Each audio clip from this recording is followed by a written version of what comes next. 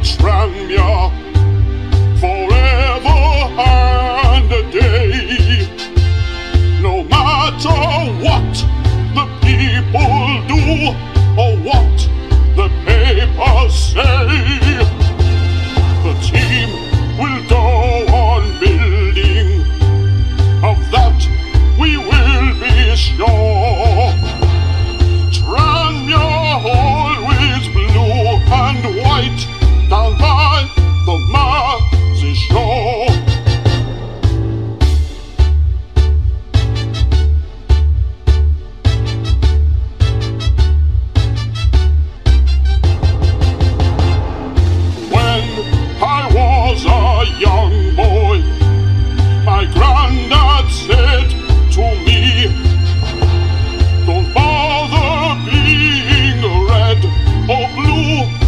it's Prenton Park for me.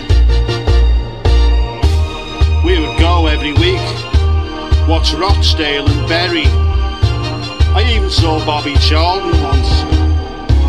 He was playing for Preston North End, standing in the cowsheds, drinking Bovril. Ah, those were the.